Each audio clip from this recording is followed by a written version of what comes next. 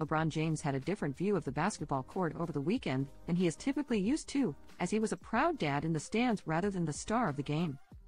On Sunday, December 10th, the legendary Los Angeles Lakers forward supported his son Bronny for his Division I college basketball debut after the 19-year-old had a terrifying health scare during practice earlier this year. Can't even tell y'all how emotional today was for me. I'm literally drained and all I can say is that Bronny you're simply incredible. D the wins and loses that will occur. You've already won the ultimate goal slash championship and that's life. Proud of you kid and today you've given me more life. Thank you and I love you the dad of three who shares Bronny, Bryce, 16, and Zhuri, 9, with his wife, Savannah, 37, wrote in an emotional Instagram caption. Young in the spotlight for USC debut, a post shared by the Instagram fan account at LeBron Reed in celebration of the special day.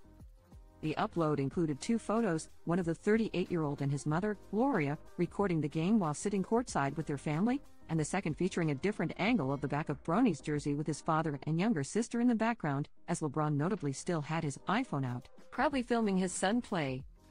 Despite having one of the NBA's biggest stars cheering on the University of Southern California from the sidelines, the Long Beach State 49ers defeated the Trojans 84 79. During a post-game press conference, Bronny expressed gratitude after suffering cardiac arrest while practicing back in July, causing him to miss the first 8 games of the season. I just want to say I'm thankful for everything, the Division 1 guard stated after Sunday's loss. The Mayo Clinic and everything they helped me with, my parents and siblings for supporting me through this hard time in my life. I just want to give appreciation to everyone who has helped me through this, Bronny added after spending three days in the hospital before doctors determined the cardiac arrest was likely caused by a congenital heart defect. LeBron addressed his son's medical woes during a post game press conference of his own back in October, stating, To see what he had to go through, or what he's been through, over the last few months, you know, it's been a lot. I can only imagine how it's been for him, because it's been a lot for me, it's been a lot for our family.